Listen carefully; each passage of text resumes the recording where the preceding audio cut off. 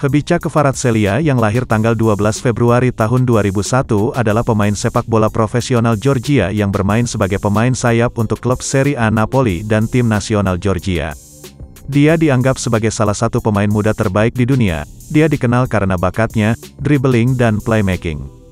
Datang melalui sistem junior, Kvaratskhelia memulai karir seniornya di Dinamo Tbilisi pada tahun 2017, melakukan debut seniornya melawan Kolketi 1913 Poti, masuk sebagai pemain pengganti pada menit ke-62 dengan hasil imbang 1-1 pada tanggal 29 September tahun 2017. Secara total Kvaratskhelia membuat lima penampilan di semua kompetisi untuk Dinamo Tbilisi, mencetak gol pertamanya dalam kemenangan tandang 1-0 Sukura Kobuleti pada tanggal 18 November tahun 2017.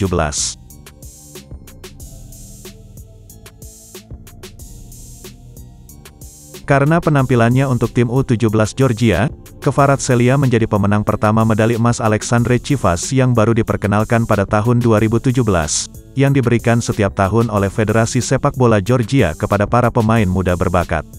Tahun berikutnya dia menerima medali perak untuk penampilannya di Georgia U19.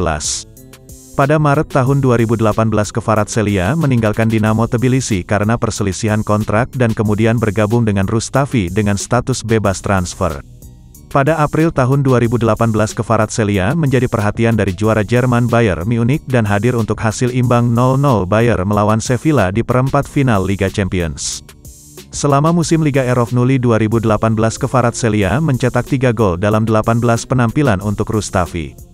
Pada tahun 2018 The Guardian menyebut Kvaratskhelia di antara 60 pemain muda terbaik dunia.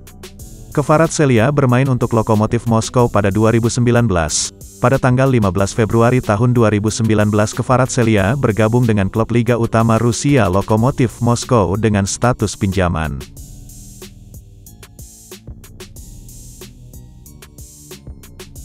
Pada tanggal 6 Juli tahun 2019 Kvaratskhelia menandatangani kontrak 5 tahun dengan Rubin Kazan, dia memainkan pertandingan pertamanya pada tanggal 15 Juli melawan klub sebelumnya Lokomotif, masuk sebagai pemain pengganti di babak kedua dan mencetak gol penyeimbang dengan hasil imbang 1-1. Kvaratskhelia dinobatkan sebagai pemain terbaik pertandingan oleh penggemar Rubin di situs resmi klub. Secara keseluruhan pembeliannya dipuji oleh beberapa media Rusia sebagai kesuksesan transfer utama Rubin, yang melihat nilai pasar pemain tersebut meningkat lima kali lipat dalam satu musim antara Juni tahun 2019 dan Juni tahun 2020.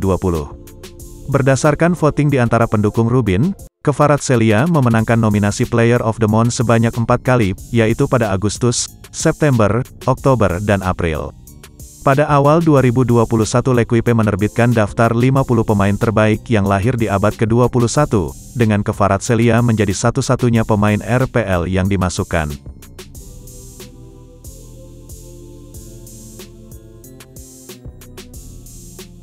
Pada tanggal 7 Maret tahun 2022 FIFA mengumumkan bahwa karena invasi Rusia ke Ukraina, pemain asing di Rusia dapat menangguhkan kontrak mereka secara sepihak hingga tanggal 30 Juni dan diizinkan untuk menandatangani kontrak dengan klub di luar Rusia hingga tanggal yang sama.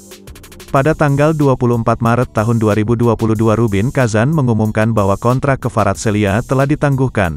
Pada hari yang sama dia bergabung dengan Dinamo Batumi dari Georgia.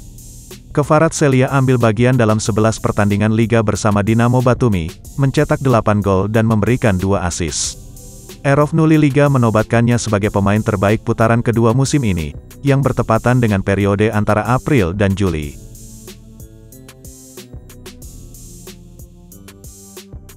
Pada tanggal 1 Juli tahun 2022 klub Serie A Napoli mengonfirmasi penandatanganan Kvaratskhelia dengan kesepakatan yang berlangsung hingga 2027 dari Dinamo Batumi, dengan biaya yang dilaporkan sebesar 10 hingga 12 juta euro. Debut Kvaratskhelia untuk klub terjadi pada tanggal 15 Agustus di matchday pertama Serie A melawan Hellas Verona. Dia mencetak gol dan membantu dalam kemenangan 5-2. Dia mencetak dua gol pada pertandingan berikutnya melawan Monza pada tanggal 21 Agustus mencetak dua gol pertamanya di Serie A dalam kemenangan 4-0.